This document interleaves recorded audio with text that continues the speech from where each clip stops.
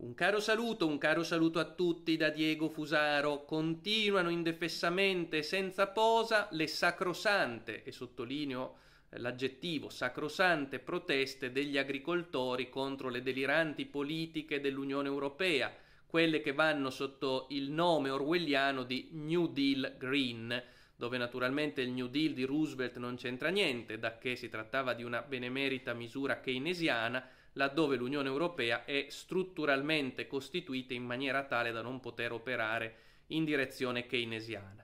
Le politiche cosiddette del New Deal Green sono semplicemente politiche neoliberali al 100%, che vanno a colpire spietatamente, come già ho più volte sottolineato, le politiche del lavoro, come sempre accade peraltro nello spazio neoliberale dell'Unione Europea. Ora, come previsto, e direi di più come da copione, si sta realizzando quello che già avevamo paventato.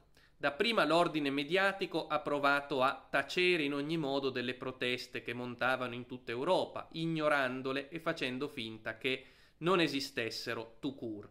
Adesso che non se ne può più tacere, dato che si stanno estendendo ed espandendo, dato che stanno conquistando sempre maggiore consenso, ebbene eh, gli araldi del discorso dominante, i monopolisti della parola, sono giocoforza costretti a parlarne e lo fanno ovviamente nel tentativo di screditare le proteste degli agricoltori.